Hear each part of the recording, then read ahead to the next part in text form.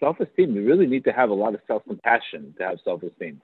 I mean, working on my self-esteem without the self-compassion part is going to be very, very difficult.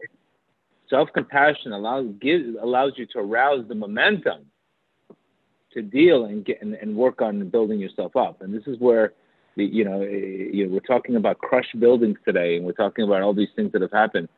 But I remember Rav talking about a, a crushed uh, and Rav walking down, and they saw a building on completely destroyed. I believe it was Rav Natan saw the building destroyed, and there and there was a guy trying to pick up uh, pieces, and the his followers told him, "What are you doing? What are you doing in that in that the, the building completely torn down? What in the world are you doing? Haven't you seen it's failed?" And he says, "No." Look at the guy; he's picking things up. This is exactly what we need to do when things are crushed in our lives. We need to pick ourselves up and you know, and this is the, I think this is the message of the of Rab Nachman of the what's next mindset. You know, we have to pick ourselves up, and we have to start picking up the pieces. Surfside has to start picking up the pieces.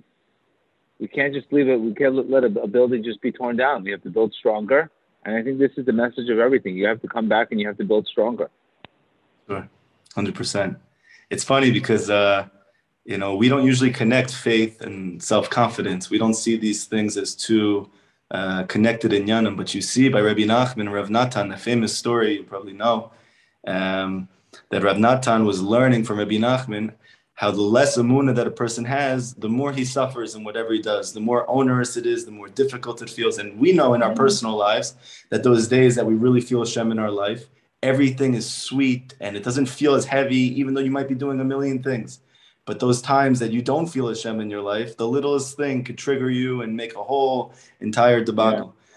So Rav Natan, when he was listening to this, he started to realize that everything in his life was very hard. And he got upset at Rabbi Nachman. He said, for the which is very unique. He said, What, you don't think that I have faith?